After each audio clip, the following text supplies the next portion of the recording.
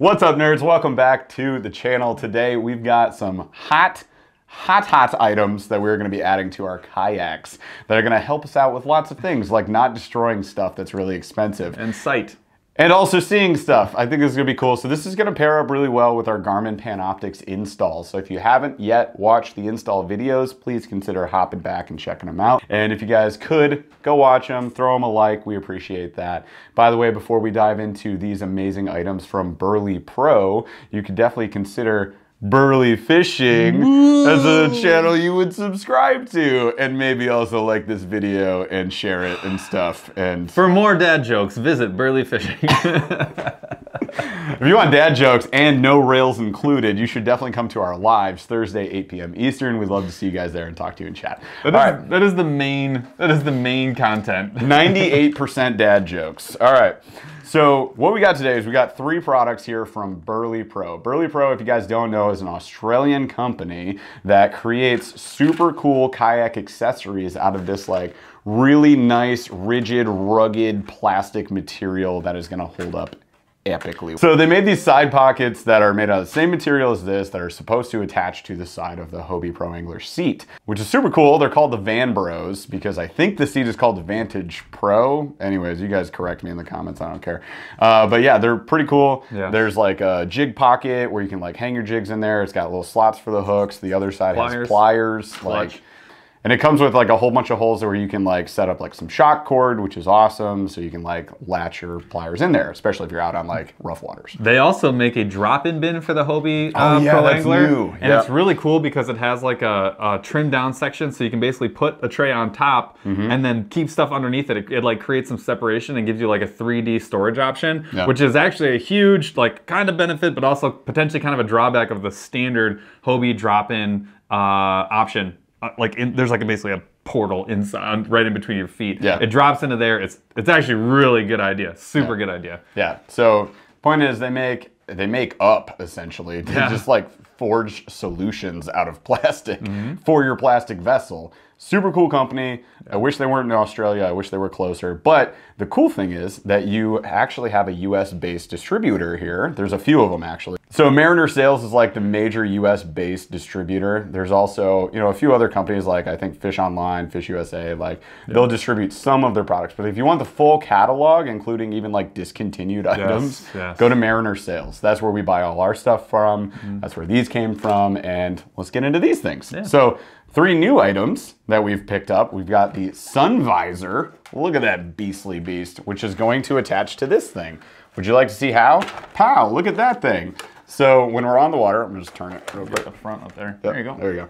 So look at that. So when you're on the water, you got the sun just bearing down on you, and you can't really see your screen that well. Guess what? Now you can. So this is super uh, helpful. It comes with the bolts, and uh, Garmin, you know, already has actually a space for these visors. If you guys can see there, there's already a hole for it. Look at that. So you literally just pop those bolts in. You're good to go. Super easy install. Very thing- helpful thing. If something is going to break, this is probably the one thing that would break the like instantaneously, um, because you'd be surprised how much action is happening right in front of the boat. Uh, so having one that's a little bit higher quality, I, I do think is worth it. The other thing too is I can't explain with a larger screen. If you've got like a five or a seven inch screen and you're, you Yeah. find yourself doing this or like holding your head up to be like, The bigger the that?" screen, the bigger the problem. Exactly. So this actually does become something that that can. It's. I think it's worth it. I think it's worth it. Uh, these are going to run you anywhere between like 45 and 67 dollars, depending on the size of your screen. So we have the Garmin EchoMap Ultra 106 SV. There you go. Okay, it's a 10 inch screen. So they do have like a 12 inch screen. They've obviously got like 14, 16, whatever, gigantic screens. I think John B just put an actual 40 inch television on his boat. I just saw that. Why video. Because, yeah, obviously. Uh, so the bigger it goes, the more plastic he uses, therefore, the bigger the cost, right? But because this is a super durable, like it is a ultra hardened plastic Mm-hmm. that will hold up really well. We'll show you one that's going to get the crap kicked out of it all the time, like all day. Its purpose is to be every day. We'll show you that in, in just a second. But this stuff is going to hold up for a long time. And I can say that because I've used those side pockets Yeah. now for a year and a half.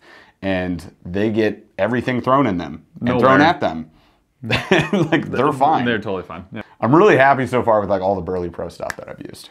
All right. So next up is the one that I mentioned is going to get the crap kicked out of it all the heckin' time. So this is a keel guard. And you guys have probably seen like I think it's gator tape and different brands like that, which is keel tape. So I you use- put on the bow of your boat, like that little front section. Basically the part that hits takes- the ground when, Exactly. you, when you bring in. Or when you're dragging your boat, or Yep. uh, anytime you're you're Don't um, drag your boat. People hate when you drag. They really boat. do. When you're be- like if you're if you're about to be uh, breach, right? Like you're you're in your kayak and you're coming up to like a. It's not usually a sandy beach, right? So Mm-hmm. When you pull up, this is the first thing that's gonna get knocked is the very front of your boat. And if you've ever seen like an old canoe, which I actually just purchased one, where you're gonna see almost all of the damage from moving the boat, transporting it, it's right on the front there. Yep. So Jeff mentioned like an alternate option would be like a gator tape. It's pretty inexpensive, um, and it's basically like a, uh, a, a, a big strip of it looks like electrical tape, but it's about fifty thousand times thicker. Yep. You lay it across the front, you get it stuck on, you get it on as close as you can, then you use like a hair dryer to really mold it right to it. It works very well. It's not as inexpensive as you think. You would think this would be like a $10 option. It's more like a 30 to $50 option. It's the same price as this, if not more expensive. Exactly. This is. Mm-hmm. actually cheaper and it's one piece. So all you actually have to do with this, you can see, look, it's hollow. You literally just coat this in like marine goo or marine weld, whatever you want, and you just go and you just stick it on the front of your boat and then you let it dry. And that's what we're gonna do today. We're gonna install this, and at the end of the video, we'll show you guys how this all looks on the actual boat. Uh, so these are awesome, super pumped about it. And again, like Paul was saying, when you beach, just imagine that. If you have a kayak without any keel protection, just go look at the bow of your boat on the underside. Ours are hecked up real You'd bad. be surprised. You'd be So you would. You probably will be surprised even after one You'd season. be like, there's no way. yeah. And I'll say my canoe. Um, It's wrecked. It is. It's from 2013, and it's got some damage. But um, I'm not saying that this is the only option, but it is a It's great not. option, and it's actually a lot easier to install Yep. though. Um, so there's a lot less work, and because of the marine group, like the one thing that I noticed about, I was gonna put the I was gonna put the gator tape on my canoe when I was putting it in the storage.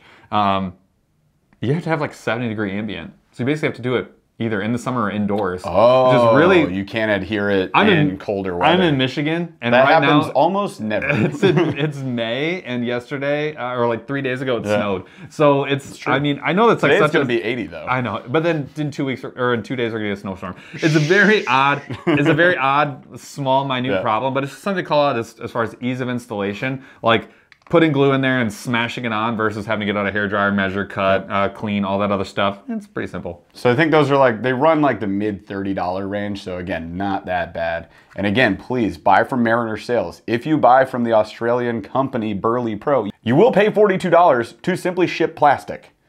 Do not recommend that. Mm-hmm. You you can It's get international some, shipping. You can get some of the stuff on Amazon, Yep. but it's from other retailers. You're gonna pay Yeah. Mm-hmm. for a little bit more for shipping and stuff. The Mariner sales stuff. Again, I'm in Michigan, so I know I don't know where their distribution is located. Yep. I got my stuff in three days for for five dollars of shipping.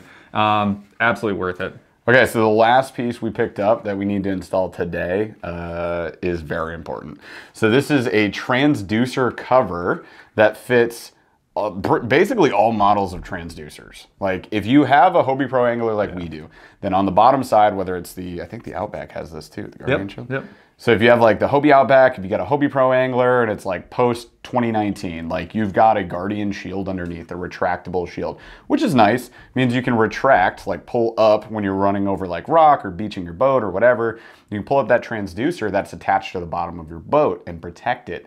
The problem is that even then, like all rocks are not flat and you will scuff up your transducer. It's gonna happen. So it- you and probably you- don't want to damage a very expensive piece of equipment. The transducer is one of the more difficult things to install on the entire. After having gone through It it, was It's- a pain in the butt. One of the more difficult things to install, especially if you're if you're not buying a Lowrance and you're putting this on a Hobie. It's Yeah, also that's the thing. it's also one of the things that is exposed. Oh, no, it is the thing that is exposed to the most damage because it's underneath your kayak, underwater, and it is Mm-hmm. the lowest point of your boat when you're in the water. So even if let's say Mm-hmm. you know you don't, you're never gonna know when you're gonna hit a rock. I mean, let's just be honest. You're Yeah, never like gonna you're just know ready and- you're like, oh look, the log I was gonna hit. And Pull the no, deucer. not how it works.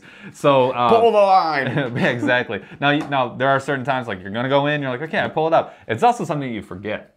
Absolutely. Having having I I've have left it I have down a, many times. I have a process now where I like pull everything in, and I've done it I've done it dozens and dozens and dozens of times, and I still occasionally would forget. I still occasionally be late to the pull on something. Um, so it's it's I'll certainly drive around with my rudder down. all the time, and so it, it's this. I think this was actually of all the stuff that you're looking at right This now. is why we originally made this, this is order. yeah, this is the original purchase. All right, but you can see there's a few different like shapes in there because it's designed for your your Humminbird, Yes. your Garmin. Like it'll fit your other transducers, or if you have like a massive transducer, like Mm-hmm. the Garmin is pretty big. So it's gonna fit into here, which is awesome. That's gonna protect it. It's gonna sit like that on the bottom of the boat. You've got all these bolt holes around it, so it's gonna be hyper secure to our Guardian Shield. It ain't going nowhere.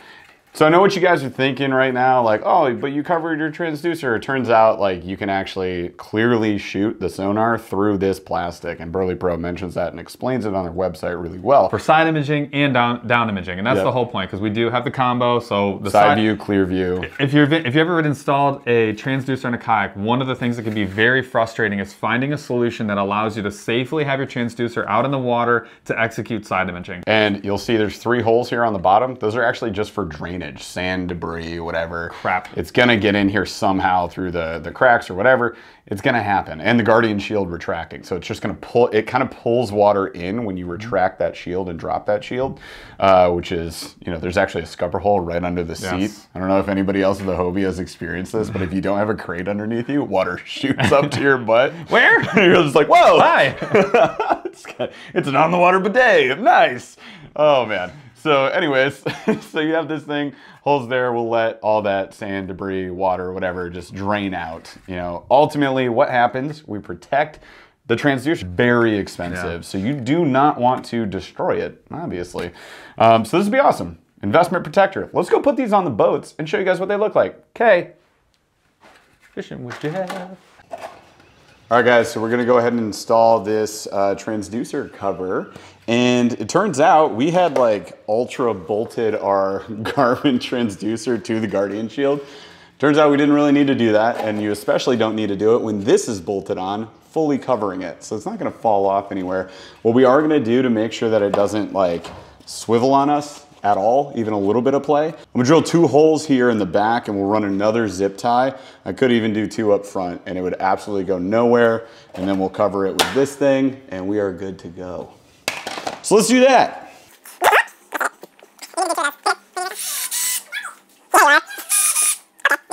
Garcon, zip ties. Zip tie guy Paul. Still a little bit of play. I mean, we could. So we're gonna throw one up front as well. I'm gonna make sure I don't drill a hole in my cable. That'd be super sad. There we go. Okay. Da-da-da-da. So first, you, what you're going to do is line up the front two bolts. The front, the front two bolts go right into the towers that are already built into the Guardian shield. So Jeff has lined those up and he's to screw those in to start. Done. Okay. So now Jeff has to drill four more holes, two in the middle and two in the back. Now these next four bolts actually come with the Berley Pro hardware.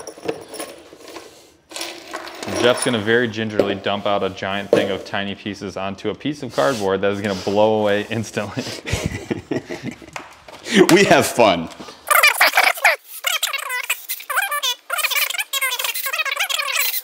Boom! This thing is sick. Oh my God! Just kidding. All right, so now we're just gonna mount it underneath here. All right, Jeff, get under that kayak. There we go. So what Jeff is doing right now, he's got a actually there's a there's a string essentially um, that allows you to pull the Guardian Shield up and down. He's got to tie that uh, to the Guardian Shield, and uh, they recommend an anchor hitch, I believe. That's what I've always used. I think Jeff used the same, right? Yep. Which is a pretty simple knot, and honestly, one, because it's so tight and gets pulled on so often, it's basically like there's so much memory in that string that it, Yeah. it like it ties itself basically. Yep. So now Jeff's got to do is put, uh, how many bolts are there? Four? Three. Three. Three oh, yeah, because the first two are, yep, so there's three bolts that he's going to have to put in. Kind of a pain in the neck, honestly. Yeah. We've done it so many times at this point, Yeah. though, it's like.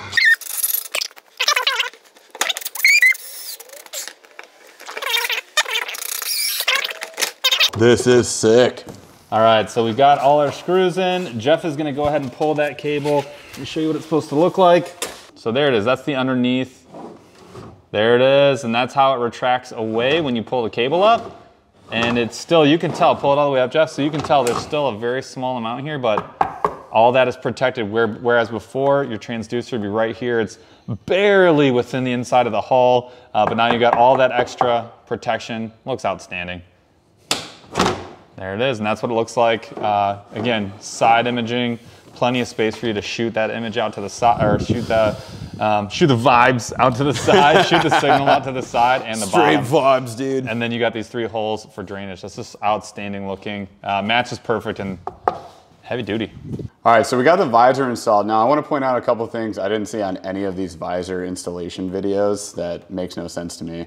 Uh, number one, you get these little sticky pads that go on the back of your unit that will obviously have bolt holes already. So these two are the top and bottom, these two are the sides. So that goes on the back of your unit. So you would just pop it off of this uh, stand, then you're gonna stick these to the back of it, and then from there, that simply pads it it's just nice to have. Like, I don't think it's necessary, but it's nice to have. The tricky part was this. It is nice that you can still use this faceplate while this is on there. This top and bottom piece here, this is just a little piece of plastic. You literally just pry it off. So cautiously, you know, carefully just kind of pull that up a little bit and it's got a bunch of little snaps on it. You can see it's already coming off like that. So you pry that thing off. And then underneath there, actually I'll do it so you can see. So underneath there, you can see the holes. So you put your bolt through there, okay? On the back side, we've got a nut and a washer. Highly recommend not losing the washer like I did, because uh, you'll just have to find another one you can use. That's what the But- backside looks like. Yeah, so you just bolt it on like that. Simple, there's full four bolts, nuts and washers. 10, nice 15 minutes probably total installation. Yeah. And now Looks you got a sun visor. I mean, it's sweet. So there we go. So that's that piece. All right, so next up we got the keel guard. I've got mine installed. Paul's gonna have to do his at home, but here's what it is. Simple piece of plastic. So all you're gonna do is you're going to take some marine goop. Take your marine goop, you're gonna go around the edge of that. Now what they do recommend is like, you can see on Paul's boat here, there's already some scuffs, obviously. Like that's pretty normal. There's also a lot of sand. So clean this off. Take some fine grit sandpaper, sand off just the tags. So like his bottom is probably the worst part there. He's gonna have to sand that down. Right where we're trying to protect. Exactly. And then once it's like more smooth, from there take some cotton swabs and some isopropyl alcohol. You're gonna just wipe this thing down all around where this piece is gonna go. And it goes like that. And then once that's nice and clean, And you can see too, it's not gonna fit in perfectly snug. So go ahead and put that piece up. You can See? see there's there's gaps there. It's not a quite perfect Yep. fit because there's not enough pressure to really push it right up against the hull of the kayak. a ton of pressure on this thing. So So Jeff, what was our solution for that? if you would turn around real quick, you'll see our solution. So this was this seemed pretty obvious to me. Just go ahead and we ha- I have a Jeff and I both have a kayak cart, Mm-hmm. um, so we just basically put all the weight of the boat right on the front there. Um, and as you can see, he got a nice, good seal. Um, turned out really nice. Yep. So what I did is I went goop all around the rim of this, just below the rim actually, because it'll just squeeze out the top, which actually isn't, in my opinion, a bad thing, because you can just wipe around that with your finger and get a nice tight seal. The other thing though is I took goop all around the bottom area, right? So once it makes contact with this, it's going to stick once this dries out, right? So there you go. You shove it on there. It's gonna look like that. Paul's gonna do his at home. Ta-da! So that's it. We got a ton of Berley Pro stuff on our boats, and we're super pumped about testing it out, putting it through the ringer this season. Um, but I, I mean, I'm stoked. Like we're protecting a big investment for us, and If you're, a river, all ang- about. if you're a river angler, These are all necessities. it's kind of on the necessity portion Yeah. of things. Yeah, and the sunscreen, I think a lot of people use sunscreens on their fish finders, especially if you get the bigger fish finder. I noticed before, even with our five inch ones, like I would get that glare and I have to angle it all weird ways. I'm stoked that we don't have to do that anymore. All right, you guys, thank you so much for watching. Be sure to smash that like, ring that notification bell, throat punch, karate chop the sus- subscribe or whatever you want to as do. can. And then come back live Thursdays, 8 p.m. Eastern. We'd love to see you there and talk to you in chat. You gotta go home. Let's go. Okay, bye. Bye.